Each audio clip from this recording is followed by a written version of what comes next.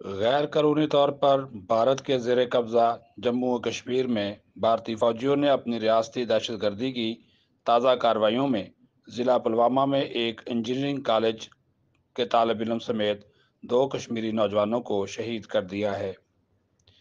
Kashmir media service के मुताबिक फौजियों ने नौजवान को ज़िला के इलाके मतरी गाँव में महासरे और तलाशी की कार्रवाई के दौरान शहीद किया। इससे कबल इस इलाके में एक हमले में एक भारतीय फौजी जख्मी हुआ था।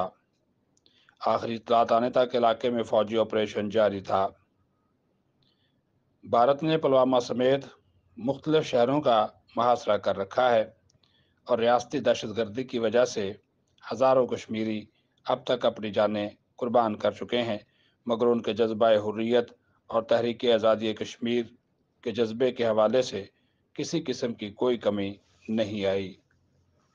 online digital TV official Islamabad.